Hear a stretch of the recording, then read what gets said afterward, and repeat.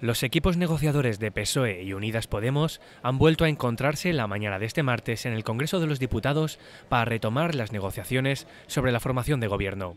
Sin embargo, tras casi cuatro horas de reunión, ninguna de las dos formaciones ha dejado ver posibilidad de ningún pacto que desencalle el bloqueo y facilite la investidura de Pedro Sánchez. Podemos ha asegurado que los socialistas no se mueven de su intención de tener un gobierno de partido único y les ha acusado de amenazar con dar por terminadas las reuniones si no aceptan este planteamiento.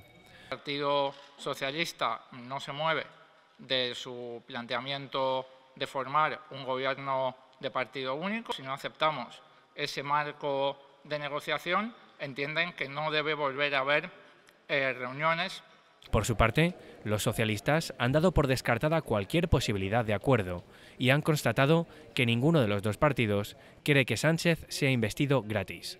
Unidas Podemos se ha negado en todo momento a alcanzar un acuerdo programático y alcanzar un acuerdo también de gobernanza para este país, que nunca habría, como ellos dicen, una investidura gratis. Así las cosas, no hay previsión de que los dos partidos vayan a volver a verse y el tiempo para que alcancen un acuerdo va acortándose.